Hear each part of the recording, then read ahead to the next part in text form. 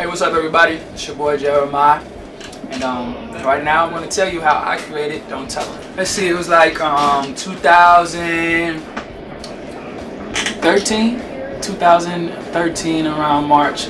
Um, I was in Malibu with my homie Mick Schultz, who produced Birthday Sex, Down on Me, a couple other records y'all might know of.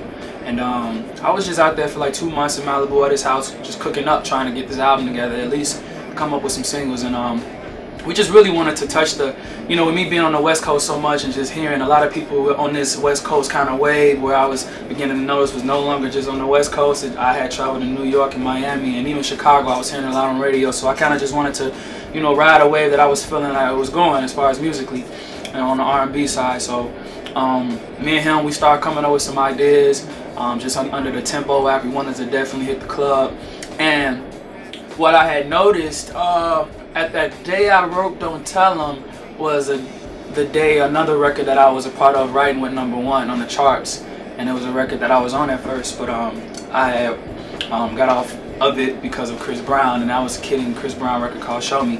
And um, I was just so impressed with how that the success of that record was coming. I figured, hey, why, me, why don't I just make one of my own?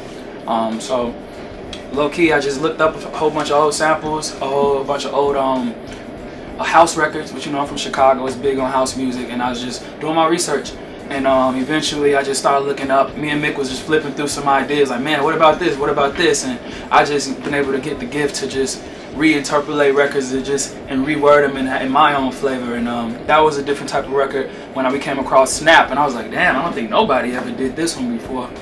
Snap was an old group from like when the box was on, when it was just like, uh, like years, 20, 30 years ago. And and uh, eventually, you know, he came up with the, the rhythm of the beat, and sure, sure, enough, just by just the um synth, the synth alone, the drum, I started writing off of the record based off the interpolation of Snap. So um, from then on, I mean, you know, I put my flavor on it. I come up with the hook, um, which I thought was a smash, and I didn't know exactly if I wanted to keep it at that time or give it to someone else. But Mick was like, man, go ahead, just throw some verses on it. And before you know it, um, we had that song done in about an hour and a half um, out there in Malibu, and we wanted to know who we can get on it, and we just started naming all types of people. I think we both was just super excited, hella excited, because we felt like I think we both we both know it was a hit. So um, we reached out to 2 Chainz. Um, they passed on it.